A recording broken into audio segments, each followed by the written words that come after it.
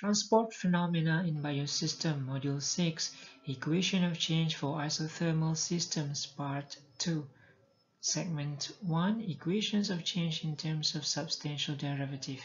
With me Yusuf from Bioengineering Study Program, School of Life Sciences and Technology, Institut Teknologi Bandung. In this module, we will discuss about equation of change in terms of substantial derivative application of equations of change, and dimensional analysis of equation of change.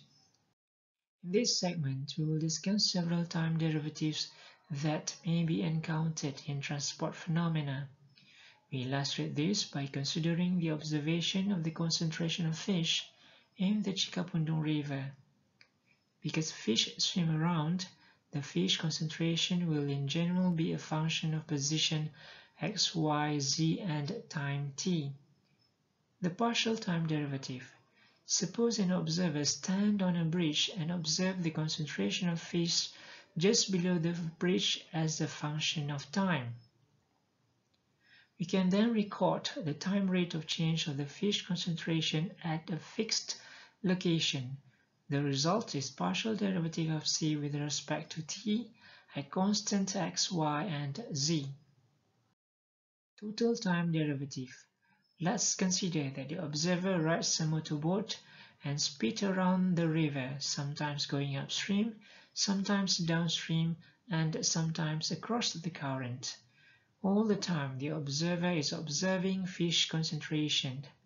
At any instant, the time rate of change of the observed fish concentration is given by equation 6, 1, in which dx per dt, dy per dt, and dz per dt are the components of the velocity of the boat. Substantial time derivative. Let's consider that the observer rides a canoe and just floats along with the current, observing fish concentration. In this situation, the velocity of the observer is the same as the velocity v of the stream, which has components vx, vy, and vz.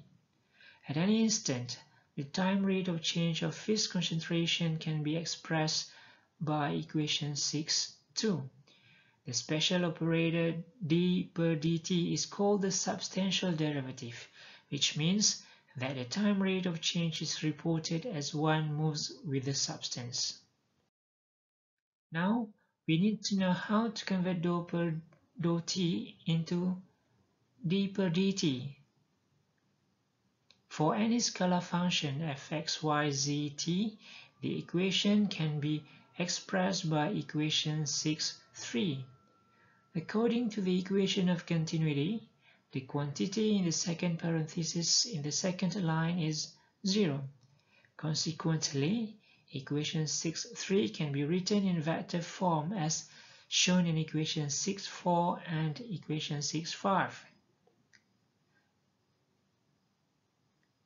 These equations can be used to rewrite the equation of change given in terms of the substantial derivative For the next segment, we will discuss about equation of change to solve flow problems.